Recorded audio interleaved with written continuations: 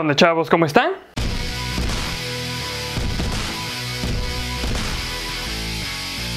La venganza nunca es buena, mata el alma y la envenena. Un dicho muy famoso con versiones en todos los idiomas y que se aplica a múltiples situaciones. Y es que la revancha no es algo honorable. Desde tiempos bíblicos los profetas hablaban de que después de recibir una bofetada, lo mejor es poner la otra mejilla, demostrando así que somos mejores personas que el agresor. Sin embargo, durante los años han habido ofensas a personas o a grupos completos que simplemente quedan totalmente fuera de cualquier perdón. Heridas tan profundas y duraderas que aquellos que las sufrieron determinan que el nuevo sentido para sus vidas es cobrarse todo el dolor en multiplicado contra los que les hicieron daño. Por supuesto, la conducta es reprochable. No obstante, no podemos evitar de pronto ser un poco empáticos con estos vengadores de la vida real. Hoy conoceremos seis ejemplos de gente que logró aplicar su justicia sobre aquellos que alguna vez les arruinaron la vida. Estos son seis de las venganzas más grandes de la historia.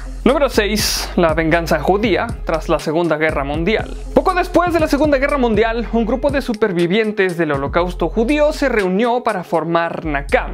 El grupo, que más tarde se denominó The Avengers, los Vengadores, cuyo fin era vengarse de criminales de guerra nazis responsables de millones de muertes durante el holocausto. El grupo estaba compuesto por unas 60 personas y su mayor ataque fue cuando envenenaron 3.000 barras de pan que tenían como destino los campos de concentración estadounidenses en los que estaban presos los soldados de la SS. Cerca de 2.000 prisioneros nazis cayeron enfermos como consecuencia de ingerir el pan envenenado y finalmente 400 murieron.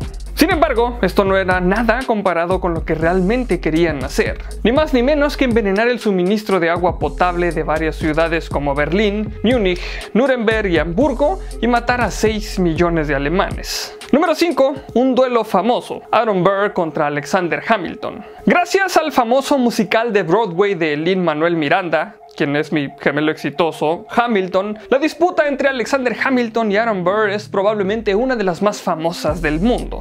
Tanto Hamilton como Burr fueron padres de la Revolución Americana, pero no eran precisamente amigos. Hamilton había jugado un papel muy importante en la derrota de Burr en las elecciones presidenciales de 1801 y cuando Burr se enteró de que Hamilton también estaba influyendo negativamente en su carrera para hacerse con el cargo de gobernador de Nueva York, desafió a duelo a Hamilton. Hamilton respondió con una campaña de desprestigio en contra de Burr, lo cual empeoró aún más la enemistad existente. Finalmente se batieron en un fatal duelo el 11 de julio de 1804 y Hamilton fue alcanzado por un disparo y murió. Número 4.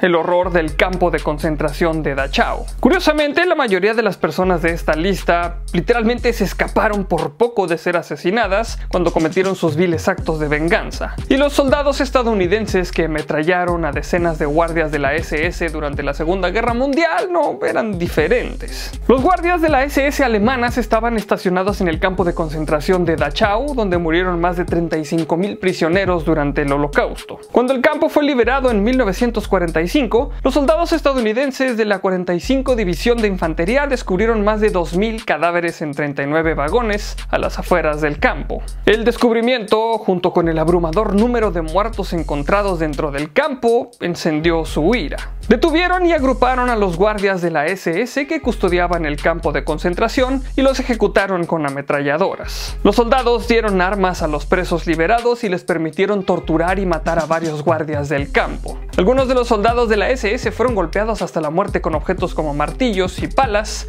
y algunos atormentados prisioneros llegaron a despedazar a los guardias con sus manos desnudas. El incidente fue noticia de primera plana y el asesinato cometido por los soldados estadounidenses se consideró un crimen de guerra, pero nunca fueron perseguidos por dichos actos. Número 3. La terrible Búdica. La historia de la reina celta Búdica y sus dos hijas no podría ser más dura. A la reina Búdica la describieron los escritos romanos como alta y terrible, con una gran masa de pelo rojo hasta las caderas. El esposo de Búdica, para su tago, era el rey de los Icenos, tribu que habitaba la zona del actual Norfolk en Inglaterra. Al principio no fueron parte del territorio invadido por los romanos, ya que tuvieron el estatuto de aliados durante la conquista romana de Britania, llevada a cabo por Claudio y sus generales en el año 43. Tras la muerte de Prasutago, y al no tener ningún descendiente varón, los romanos no reconocieron el derecho de las hijas a heredar, algo así admitido por los celtas. Además, Prasutago había contraído importantes deudas con Roma, por lo que al morir los romanos esclavizaron a gran parte de la población, usurparon sus bienes y anexaron el reino.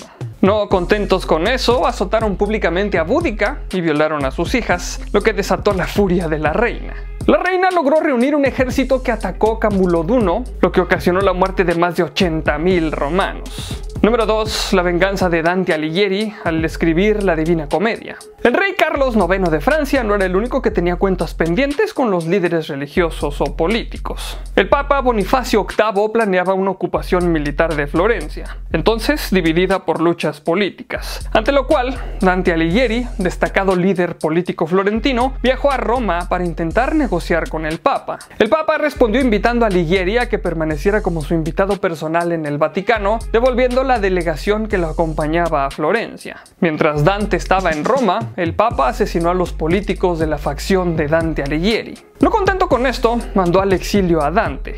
En respuesta, Alighieri escribió la Divina Comedia, en la que reservó un espacio en el infierno para el Papa Bonifacio VIII. Número 1. Pierre Picaud, el verdadero conde de Montecristo. La mayoría de la gente está familiarizada con la novela de Alejandro Dumas, El Conde de Montecristo, pero poca gente sabe que el libro se basa libremente en la historia de la vida de Pierre Picaud. A principios de 1800, Picaud tenía un buen trabajo, un confortable hogar en la Riviera Francesa y una novia muy rica. Sus tres amigos más cercanos comenzaron a ponerse celosos de la vida aparentemente perfecta de Picaud. Así que, medio en broma, medio en serio, enviaron una carta al gobierno francés en la que lo acusaban de ser un espía de Inglaterra por lo que fue detenido. Picaud fue enviado a la cárcel, a la fortaleza alpina de Fenestrel, sin saber ni siquiera de qué se le acusaba. Consiguió abrir un boquete con la celda contigua y entabló una amistad con el preso que la habitaba, el padre italiano Torri. Antes de morir, este le revelaría la existencia de un tesoro escondido. Cuando Pierre Picaud salió de la cárcel siete años más tarde, se hizo con el tesoro y planeó su venganza contra los que conspiraron contra él. Y es así que durante el transcurso de 10 años cada hombre murió misteriosamente. El principal causante de la desgracia de Pierre Picaud se llevó la peor parte. Picaud engañó a la hija de Lupian para que se casara con un criminal que la mató a golpes. Picaud destruyó el negocio de Lupian, hizo que su hijo fuera detenido y finalmente lo mató a puñaladas. Muchas gracias a ti por ver este capítulo, pero sobre todo muchísimas gracias a todos los Patreons que me apoyan para seguir haciendo estos videos. Si quieres apoyarme en Patreon, aquí abajo está la liga para ir a mi página. Recuerda compartir el video con tus amigos si no estás suscrito al canal, este es el mejor momento para hacerlo. Porque abajo tú estás dejando mis redes sociales para que me sigas y podamos estar más en contacto y recuerda que hay videos nuevos casi todos los días. Recuerda también dar clic a la campanita para que te lleguen todas las notificaciones de los videos. Solamente me queda recordarles que mi nombre es Arnoldo Montaño y como siempre, nos veremos en el futuro.